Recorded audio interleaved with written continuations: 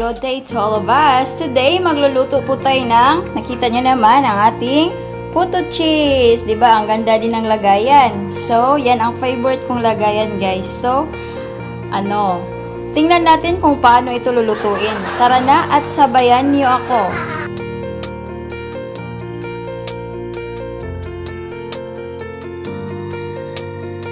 Okay, ito na po guys yung mga sangkap natin. So, kailangan po natin ng all-purpose flour, white sugar, baking powder, egg, and then milk, and then vanilla powder, vanilla powder, and then melted butter, and cheese. So, i-slice natin yung cheese mamaya So, tara na at simulan na natin ang pag-mix. So, unahin natin ang ating mga dry ingredients. Unahin po natin si all-purpose flour. Okay? And then, white sugar. Okay? I-mix lang po natin siya.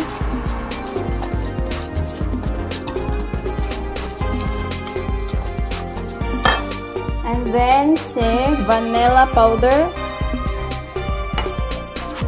And also, ayan, baking powder. Okay, mix.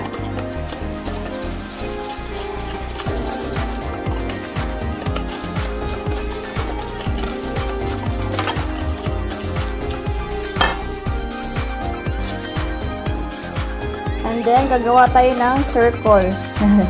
Anuhan natin yung sa, ano, sa center.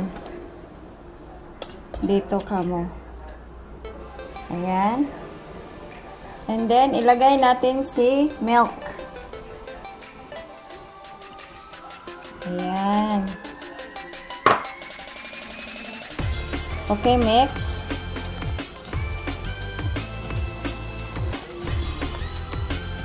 May mixer ako pero hindi ko nagamit. Hindi na ready yung mixer ko eh.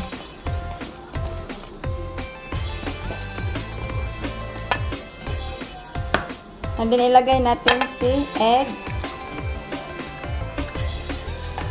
And also our melted butter.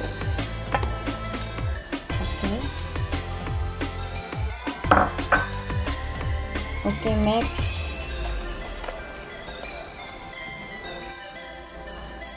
So, ayan na po guys. Tapos na po siyang na-mix lahat. So, ayan. Ganyan siya. So, ilagay na po natin sa ating molder. Yung molder natin, tapos ko na pong nalagyan ng butter.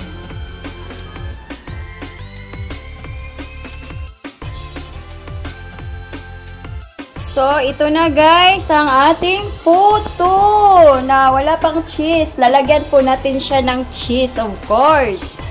So, tara na at lalagyan na natin ng cheese. So, ayan na po guys. Nalagyan na po natin sila ng cheese. Ayan. May mga ano-ano pa. May niloto din ako doon. Ang daming niloto ni Madam. My gosh. Oh, ni Ate Liz pala. So, ayan na guys. Hainin natin siya. E, takpan muna natin ng konti. So, guys. Ito na po yung naluto natin guys. Na photo cheese. Ayan. Unang hain pa lang yan, guys. ba diba? Kita niyo naman ang sarap. So, sana guys, may natutunan kayo sa ating recipe for today. At sana naman panoorin nyo din yung susunod kong videos kasi marami pa po akong i-upload.